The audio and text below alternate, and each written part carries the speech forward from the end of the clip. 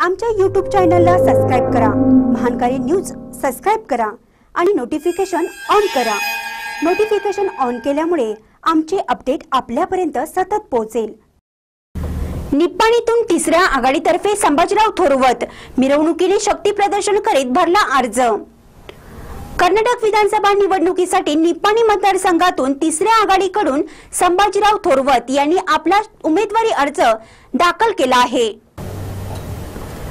कर्नाटकात बारा मे रोजी होणाऱ्या विधानसभा निवडणुकीच्या पार्श्वभूमीवर निप्पाणी विधानसभा मतदारसंघातून तिसऱ्या आघाडीचे नेते संभाजीराव थोरवत यांनी आपला उमेदवारी अर्ज दाखल केला.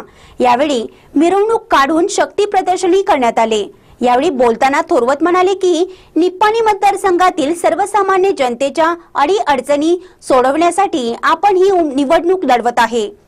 निपाणी मतदारसंघातील जनता माझ्या पाठीशी असून या निवडणुकीत मोठ्या मताधिक्याने विजयी होणार असल्याचा आशावाद त्यांनी यावेळी व्यक्त केला. महानकारी न्यूजसाठी मांगूरहून तानाजी बिरनाळे.